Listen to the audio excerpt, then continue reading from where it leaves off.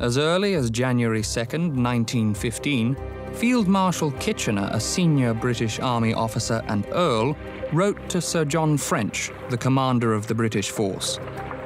Kitchener wrote that the German lines in France may be looked upon as a fortress that cannot be carried by assault. Kitchener may have become the face of the First World War, but he was not keen to send Britons into a battle they could not win. The problem is, you couldn't go round the flanks either, because at one end of the front was the sea, which was dominated by the Royal Navy. And at the other end, you have got neutral Switzerland, which, even if you ignore the neutrality, is very mountainous and is not good terrain for campaigning. But novel methods could be tried.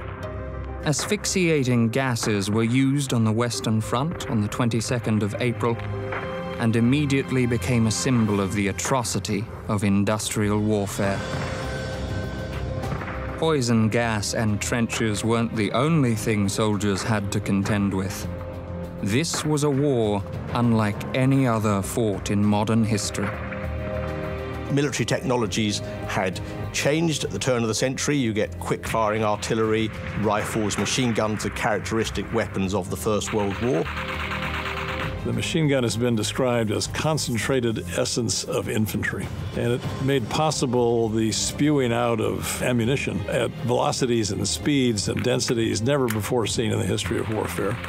It greatly enhanced the defensive position, which is why we think of World War I as characterized by trench warfare, where the lines of advance barely moved over months and even years, because well entrenched positions defended by machine gun fire in particular were very, very difficult to uh, move given the conventional inherited standards of how one waged war.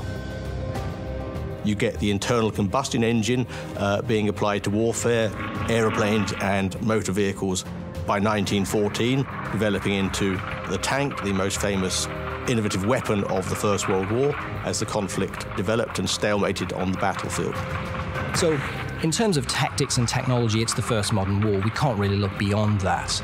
And it also really changes those societies in enormous ways socially.